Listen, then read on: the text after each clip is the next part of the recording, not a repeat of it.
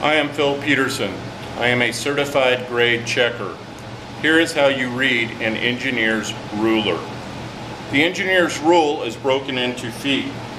Two feet, three feet, four feet, five feet, and so on.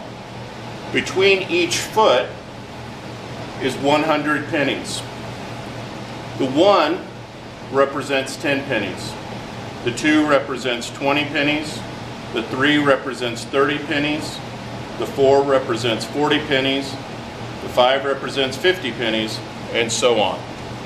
To find 4.57 feet on the engineer's rule, first we go to 4 feet.